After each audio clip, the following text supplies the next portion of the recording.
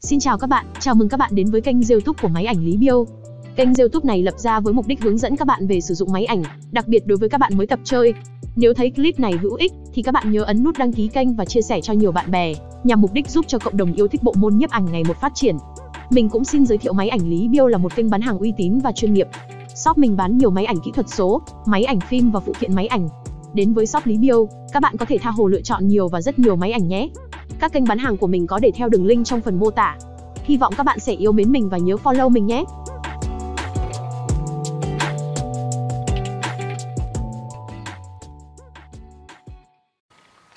Ok, hello, xin chào các bạn nhé. Chào mừng các bạn đến channel của anh Review. Và ngày hôm nay Review uh, hướng dẫn các bạn về sử dụng chiếc máy ảnh này nhé. Trên tay Review đây là chiếc máy ảnh PNS uh, ờ, của hãng Minolta Đây là máy ảnh chụp phim nha Đối với cái máy ảnh này thì các bạn phải mua cuộn phim 35mm hoặc có tên được khác là phim 135 á, chúng ta gắn vào đây và chúng ta chụp. Thì trên cái kênh của mình nó có nhiều cái clip hướng dẫn về à, cách chơi phim, cách chụp phim và cách lựa chọn phim này kia cũng khá là nhiều ha. Các bạn nào nếu mà mới tập chơi, nếu mà chưa có am hiểu lắm thì các bạn có thể xem những clip đó giúp mình. Ok, và chiếc máy hôm nay mình muốn hướng dẫn cho các bạn đó là tên là Minolta Apex 90 một chiếc máy khá là đẹp ha. Thiết kế cũng khá là ngầu, cầm à, khá là to như thế này ha. Các rất là ngầu nha à, thì ờ, đây là chiếc máy ờ, gọi là dòng máy BNS thì ờ, hôm nay chúng ta sẽ bắt đầu nhé. Thì máy này nó có ống kiến của nó là lên zoom 38mm đến 90mm à, máy này có về đèn led chỉnh về đèn led cũng có khá là nhiều chức năng luôn nha. Đầu tiên thì các bạn mình giới thiệu các bạn mình hướng dẫn các bạn gắn pin nhé. Các bạn muốn gắn pin thì ở đây các bạn gạt cái chốt này ra đó gạt cái này ra ha. Thì đây là cái viên pin của máy. Máy này sử dụng một viên pin là 2CR5 ha. Nếu mà chúng ta gắn vào thì chúng ta cầm như thế này. Dấu cộng với trừ này ha, chúng ta nhét vào trong đây. Và chúng ta đóng nắp này lại. Lưu ý các bạn là chúng ta không có đóng như thế này ha. Chúng ta cầm mà đóng vậy nó dễ bị gãy lắm. Thì các bạn có thể là để mà đóng cái nắp này cho nó an toàn thì các bạn dùng hai tay ha. Một tay mình đẩy cái này, một tay mình gạt cái này. Chúng ta đóng vậy là nó rất là nhẹ nhàng ha. Còn nếu mà chúng ta cầm vậy, ta đóng vô vậy nó vẫn được nhưng mà nó dễ bị gãy cái chấu này nữa nha đây có cái chấu chỗ này nè. Đó.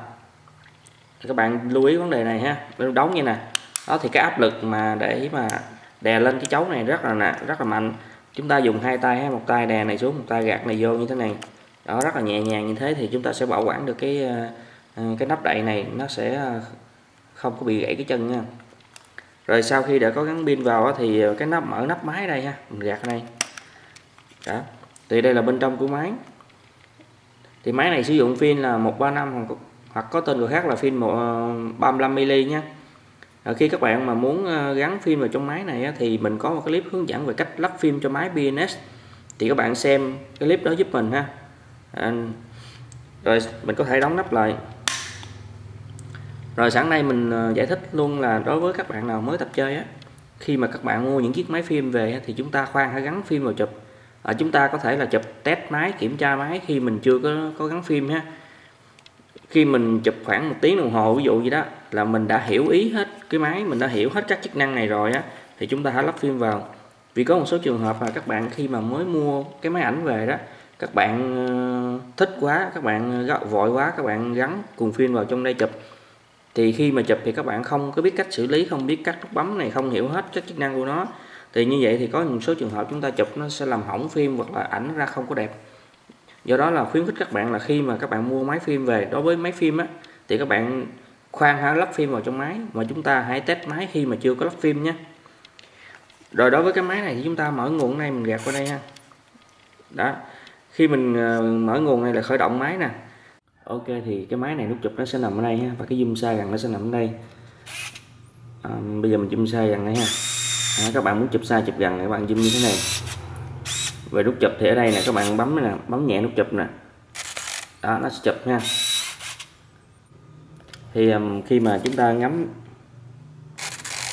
khi mà chúng ta nắm chụp á các bạn ngắm chụp thì ở đây nó có hai cái đèn một cái đèn xanh một cái đèn đỏ ha. Mình bấm đúng á bấm nhẹ đây thì cái này nó chớp chớp như là chưa đúng nha. Nó chưa lấy nét được ha. Còn à, nếu mà chúng ta nếu mà các bạn ngắm ở một cái nơi xa nó, nó, nó cái đèn xanh nó sáng như thế này là, là đúng. Còn nếu mà các bạn bấm chụp một cái nơi quá gần thì cái đèn nó chớp chớp chớp chớp như là chưa đúng nha. Tức là hiện nay máy nó báo mình đó là mình chụp ở một cái nơi quá gần nó không có đảm bảo khoảng cách nó chụp. Tức là khoảng cách lấy nét gần nhất của máy nó không đúng. Đó. Ví dụ như bây giờ mình chụp xuống cái nền này nè thì từ cái máy này xuống cái nền này nó quá gần đi nó khoảng giữa ờ, 3 đến 4 tấc thì nó không đúng. Mình để cái máy xa ra mình bấm á thì cái đèn này nó sáng liên tục như thế là đúng ha còn cái đèn đỏ này là cái đèn à, cái đèn đỏ này nè. Cái đèn đỏ này á là cái đèn à, đèn led khi mà các bạn có mở đèn led lên á ví dụ như mình mở đèn led lên mình bấm chụp á, thì cái đèn đèn đỏ này nó sáng như là đúng là là nó nó đầy pin. Khi mà các bạn bấm chụp á, thì à, máy sẽ thực hiện nạp năng lượng từ cục pin vào trong trong tụ điện của đèn led và khi nó nạp đủ nó đầy như thế này là chúng ta chụp được ha. Bây giờ ví dụ như mình bấm chụp nè nó thì nó đánh đèn led và sau đó mình bấm chụp lần thứ hai á, thì nó chớp chớp nhìn là nó đang đợi nha, đang đợi nạp điện cho đèn led. Cái máy này ở trên đây nó có các chế độ về đèn led. Ở đây nè, cái nút này nè, nút nhỏ, đèn led nó có hai cái nút ha, mà các bạn bấm này một cái á, cái này là luôn luôn mở đèn led. Tức là khi mà ra trời sáng nó cũng mở đèn led và vô bóng tối nó cũng mở đèn led luôn nha. Mình bấm đây một cái là tắt đèn led, ký hiệu là tắt đèn led nha. Mình bấm ở đây một cái là auto flash auto led tức là khi mà ra trời sáng nó sẽ không mở đèn led và vô bóng tối nó sẽ tự động mở đèn led mình bấm ngay đây cái là luôn luôn mở đèn led còn các bạn bấm cái nút này cái là nó, đèn led nó đến hai lần. Cái này gọi là đèn led chống mắt đỏ ha. Các bạn thấy hai cái hai cái hình đèn led như thế này nè. Rồi à, cái này, cái máy này nó có cái nút này là chụp hẹn giờ. Mình bấm vô đây là chụp hẹn giờ ha. Nó xuất hiện cái hình này là chụp hẹn giờ chụp hẹn giờ tức là khi mình bấm chụp thì 10 giây sau nó sẽ chụp nha. Còn cái số 0 này là cái số bộ đếm khi mà các bạn gắn phim vào các bạn chụp á, chụp được một tấm nó sẽ lên số 1 số 2 số 3 số 4 số 5 gì đó là ở đây. Rồi cái máy này ở đây là mấy cái nút này là chỉnh ngày tháng ha. các bạn có thể bấm vào đây nè. À, chúng ta chỉnh ha. Chúng ta ấn giữ cái nút set này nè. Ba cái nút này chúng ta sẽ bấm để mình chỉnh. Đó cái này là mình tắt chế độ ngày tháng nếu mà nó ra vậy là không có hiện ngày tháng còn bấm lên vậy là có hiện ngày tháng của chúng ta ba cái nút này ha. Rồi à, tiếp theo thì à, mình muốn tắt máy mình gạt cái chốt này qua. Đó, các bạn muốn khởi động máy gạt qua vậy ha. Rồi cái máy này khi mà các bạn chụp xong á thì nó sẽ tự tua phim về. Tự tua phim về. Còn nếu mà các bạn muốn tua bằng tay thì các bạn ở đây nó có nút này ha. Gọi là nút tua phim. Ví dụ như cùng phim các bạn chụp nó mình mua cuộn phim là 36 tấm, mình sẽ chụp đến tới cái tấm thứ 36 là nó sẽ hết phim. Và chúng ta tua về, chúng ta dùng một cái vật nhọn như cái ngòi viết hay cái bút hay cái tâm gì đó, chúng ta ấn vào đây thì nó sẽ tua phim về cho mình nhé. Cái này là cái, nút này là để gắn cái chân máy ảnh. Rồi thì cơ bản mình cũng vừa hướng dẫn các bạn ờ, rất là chi tiết, đầy đủ về ờ, chiếc máy này ha. Bên trong rất là sạch đẹp, rất là ok đây. Đó. Thì các bạn muốn tắt máy các bạn gạt như thế này là tắt máy nè gạt như này là lên ha. Thì máy này là máy này nó hoạt động theo cơ chế auto tô rất là dễ sử dụng ha. Chúng ta cứ để như này, chúng ta bấm thôi và chúng ta chỉ là tắt đèn led hoặc mở đèn led thì nó sẽ chụp cho mình và chụp rất là đẹp nha các bạn. Ok, cảm ơn các bạn đã xem clip nhé. Ờ, hy vọng là các bạn ờ, nếu thấy clip này hữu ích thì các bạn nhớ ấn nút đăng ký kênh ủng hộ review nha. Đồng thời mình giới thiệu với các bạn thì trên kênh của mình bán rất là nhiều máy ảnh, gồm có là máy ảnh phim và máy ảnh kỹ thuật số mình có các kênh bán hàng như là Facebook và Instagram, TikTok và kênh YouTube. Mình có gắn đường link ở bên dưới nha. Thì các bạn ờ, nếu muốn tìm cho mình chiếc máy ăn ý thì có thể ghé vào những đường link mình đã để ờ, đính kèm nha các bạn. Ok, chào các bạn nhé.